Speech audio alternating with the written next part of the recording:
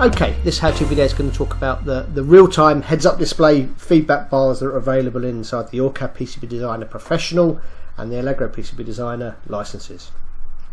So if I set some electrical rules in Constraint Manager, so we'll launch Constraint Manager, I can set a rule for things like min-max propagation delays, total etch length, relative propagation delay, differential pair static phase. I can actually get feedback on screen as I'm routing as to the state of those kind of routes and, and whether I'm meeting the constraints or not.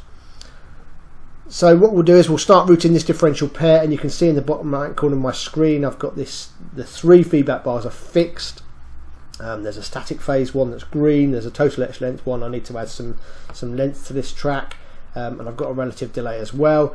And these figures will actually update as I'm routing to kind of give me some, some real-time feedback. Um, let's just complete that for now.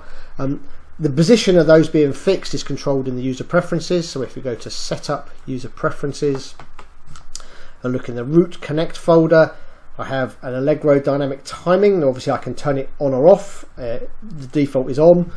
And then I've got Allegro dynamic timing fixed position. So if I just disable the fixed position, click OK, and then if I start routing again, you'll see now I'm actually getting a feedback bar attached to the edge of the mouse. Now I only get one of them if I haven't got it as a fixed position. Um, I want to see all three, then I have to fix the position in the bottom right hand corner.